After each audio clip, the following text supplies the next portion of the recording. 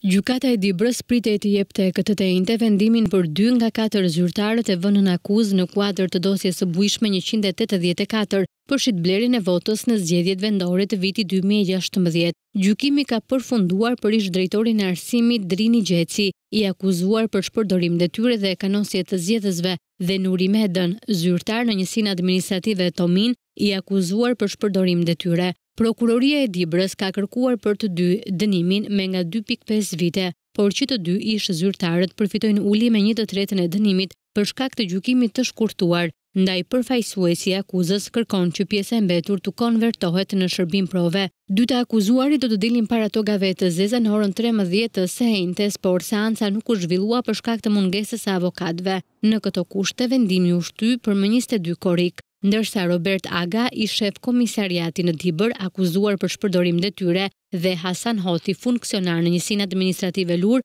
akuzuar për kanosje të zgjedhësve, kanë zgjedhur gjykim me procedurë normale, ndaj çështja e tyre është e ndarë dhe seanca e radhës do të mbahet më dymbëdhjetë korrik në Gjykatën e Dibrës. Pjesë e dosjes së bujshme njëqind e tetëdhjetë e katër ishte edhe Dionis Imeraj, ish-kryebashkiak i Dibrës dhe kandidat për deputet në zgjedhjet e fundit, por ndaj tij çështja u pushua. ashtu si për Imer Lalën, Arben Keshin, Bekim Krashin e Afri Miklin. Prokuroria ka konstatuar se ata kanë kryer veprën penale të shitblerjes së votës, por për shkak të tejkalimit të afatit tre vjeçar, vepra penale është parashkruar, ndaj nuk mund të merren në përgjegjësi penale.